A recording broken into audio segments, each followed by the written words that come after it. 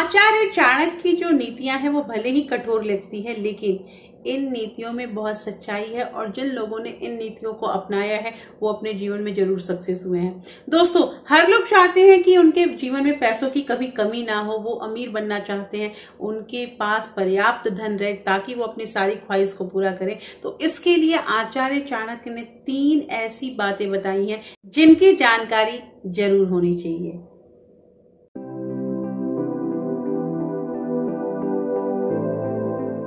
Hello everyone welcome back to my channel real life with Tuku कैसे हैं आप लोग? आई होप आप बहुत अच्छे होंगे और सेहतमंद होंगे और आप लगातार मेरी वीडियो के साथ भी बने हुए होंगे। दोस्तों, आज के वीडियो में हम बात करेंगे कि आचार्य चाणक्य ने धनवान बनने के लिए कौन सी ऐसी तीन बातों को कहा है।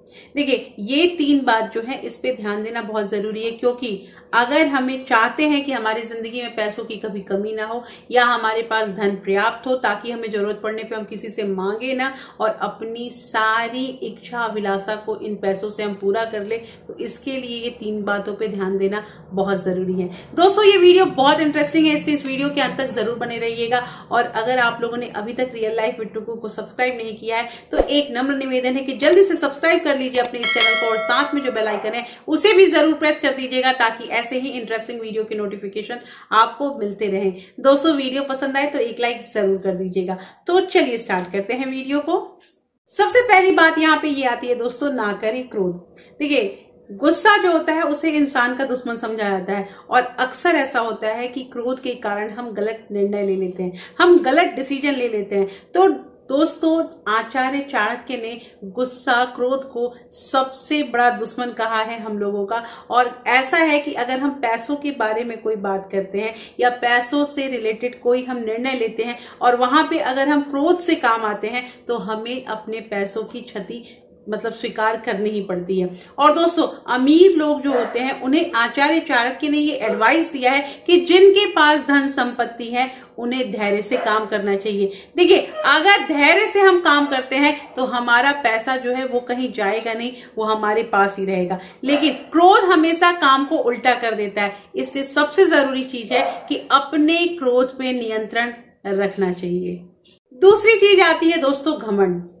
जिन लोगों के पास अगर धन संपत्ति आ जाती है और अगर उनके अंदर अहंकार विकसित हो जाता है तो ऐसे जगह पे लक्ष्मी कभी भी विराजमान नहीं होती हैं। और लक्ष्मी वहाँ रहना भी पसंद नहीं करती है, जहाँ अहंकार रहता है। तो दोस्तों, कहना यह है कि अगर आप शक्तिशाली हैं, आपके पास बहुत धन वैभव है तो आप अपने घमंड को अपने आप से दूर रखिए।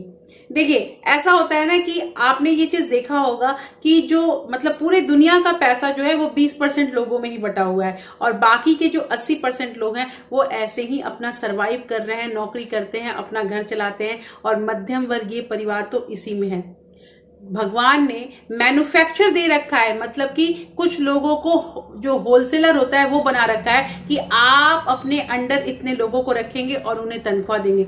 लेकिन यही अगर कोई गलत करने लगता है या कोई मतलब इसका नजायज फ़ायदा उठाने लगता है तो भगवान उसे बहुत जल्दी गरीब भी बना देता है। और आपने ये चीज़ देखा भी होगा कि कोई गरीब इंसान है जो अचानक से अमीर बन गया है तो वो क्या करता है कि उसका होलसेलर वाला जो काम है, उसको भगवान दूसरे को दे देता है। तो वो गरीब बन जाता है और दूसरा कोई गरीब आदमी वहाँ पे अमीर बन के अचानक से आ जाता है सामने। ऐसा होता है। हमने बहुत सारी न्यूज़ में भी देखा है और अभी भी हो ही रहा है दुनिया में। तो कहना यहाँ पे ये दोस्तों कि घमंड को अपने आप से दूर रखना चाहिए। जिन लोगों के पास घमंड आया, अहंकार आया, उनके पास से लक्ष्मी तुरंत चली जाती है। और तीसरी बात है दोस्तों, कड़वा ना बोले।